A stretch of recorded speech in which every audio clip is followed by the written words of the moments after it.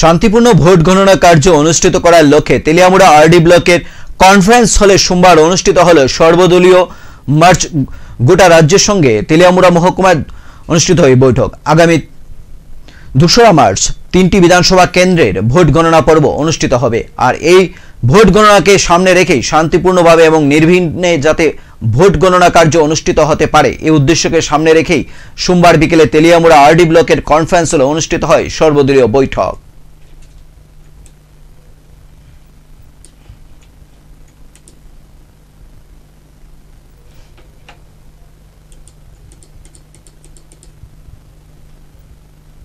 আমরা আসন্ন কাউন্টিং যেটা হবে আমাদের নির্বাচনের দু তারিখ দু তারিখ, তো সেটা নিয়ে সব রাজনৈতিক দল এবং আমরা সব আরও আরও এবং পুলিশ প্রশাসনের পক্ষে এসডিও সাহেব এসি সাহেব সবাইকে নিয়ে আমরা একটা মিটিং করলাম। এটার মেইন উদ্দেশ্য ছিল যে আমরা কতজন কাউন্টিং ওনারা যেতে পারবেন।